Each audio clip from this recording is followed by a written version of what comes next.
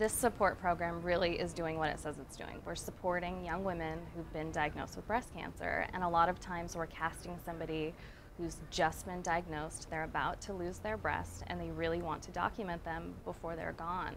Um, so they're at the beginning of their journey. There's other women that have um, had multiple surgeries and will cast them time and time again so they can heal through their journey because they can also decorate their cast any way they see fit. So it's really an amazing process.